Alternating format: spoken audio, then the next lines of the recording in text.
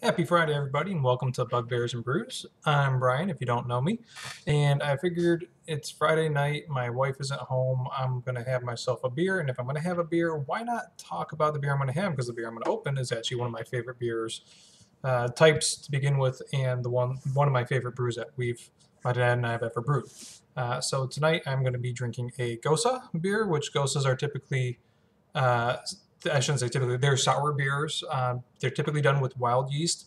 Ours we did not do with wild yeast just because you do wild yeast with homebrew and you got to get into like some serious sanitation stuff. And a lot of people actually do second um, equipment sets for wild yeast. Uh, and that's just a little bit more than what we'd like to get into it. So you can replicate some of that wild yeast flavors with uh, acid malts, which is what we did. Um, so for those that don't know Goses, like I said, it's a farmhouse ale. So this is stuff that like the um, farmers drank back in the day. Uh, this is typically from the German region, for, if I recall correctly. Um, not a lot of hoppiness to these guys to begin with. Um, and that, that comes through even in ours here. Um, there's it's a, it's a little spiced beer. There's some coriander, that kind of good stuff in it it, it's it's a, just beer that's not not really well known. I know there's some that are coming out on the market recently. I say recently, but I, I they've come out on the market, and I've noticed them more now that I've you know we've brewed this a couple times. I think this is the fourth time that we brewed the Gose. Um, out of the ones that I've tried, though, honestly, this is I know it's like, hey, this is my baby. I like it. I like ours the best. I, I think a lot of the ones that are done um, with large productions, they are they try to get like I, there's this one that uh, I don't remember if it's New Belgium that does it. There there's a Gose that's kind of like this watermelony flavor type deal that I just I couldn't get behind. There was a Gose with agave nectar. I forget who did that one. Um, out of all the gosas I tried, the Holy Gose um, was probably my favorite commercial one. That being said, though, I'd still would take mine any day of the year over any of the other ones.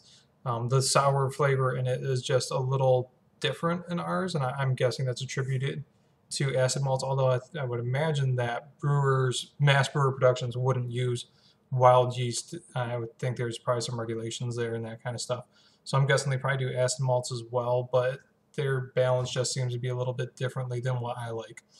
Um, so I'm going to go ahead and open this bad boy and drink it. Uh, I see here. I forget the actual brew or the ABV on this guy. Let's see here. This was before I started putting the ABVs up top. I say me, but it is my dad that always did it because he's the one that prints the labels.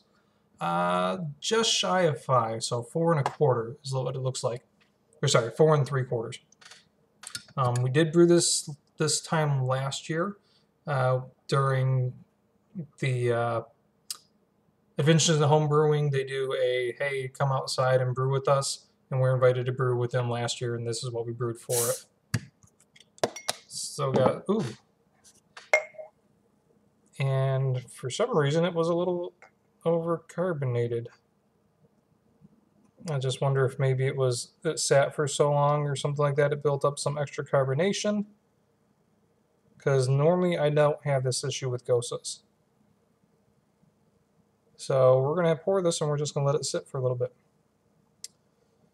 Yeah, it's ugly. Uh, yeah, very sedimenty in there. So um, yeah, I'm guessing we had some extra yeast activity during the uh, the year. Um, I tend to store these in my garage. I know that's not the best place, but um, our spare room right now is in the process of getting cleaned up, and so I don't uh, have the room in the spare room to do. I do keep the meats in the spare room though just because they're a little bit more delicate than beers.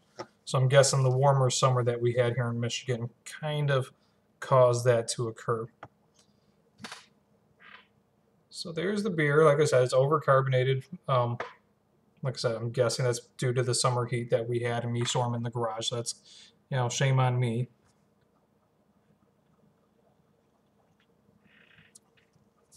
Hmm.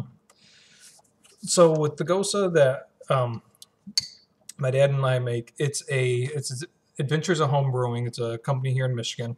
Um, it's their recipe. We did alter it a little bit, uh, kicked up the coriander a little bit just because we like the spiciness of it, and we uh, and we added a little bit more of the sea salt.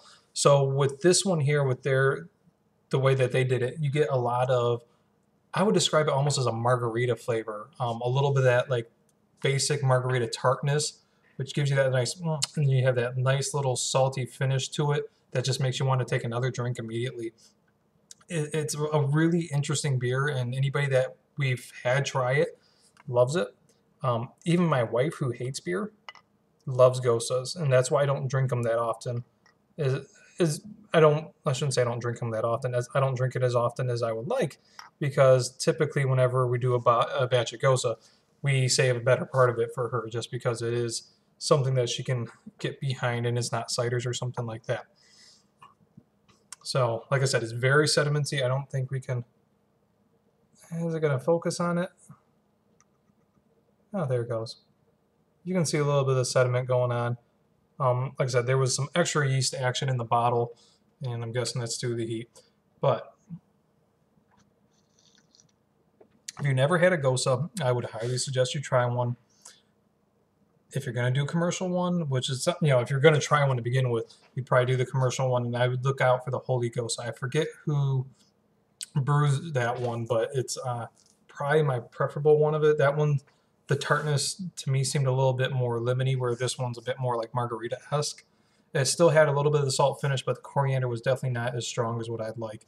It, um, but it still is very farmhousey uh, ale. So if you like farmhouse ales, go up that route. If you never tried a sour, definitely try a Gose to begin with.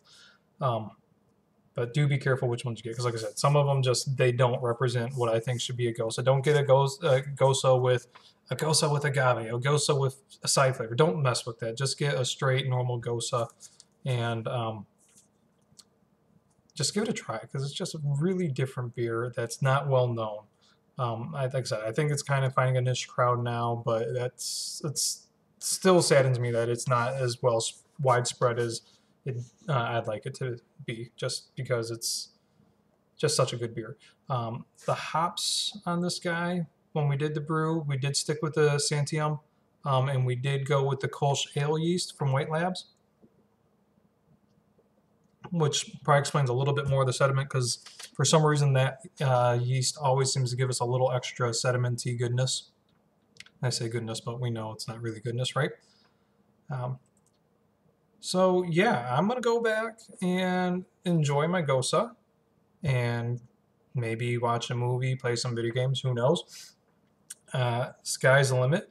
But you know, gladly let me know if you ever had a Gosa or if you don't or never had one. Uh, I can probably suggest a couple of companies. I probably tried ten-ish different market Goses. Um, like I said, they're, they're kind of hard to find, but if you look for them and you try to find them, you can eventually find them. Um, and I can, if you give me a list and say, hey, here's the ones that I have available near me, which ones would you suggest? I can tell you which ones, at least from my preference, I liked and the reasons behind that. So uh, yeah, go out there, try Gose. It is definitely a. I will say, a lot of people are going to call it Gose, and I've talked to other people that are uh, from Germany. My dad used to do a lot of travel in Germany uh, back in the late 90s, and he says proper pronunciation is Gose.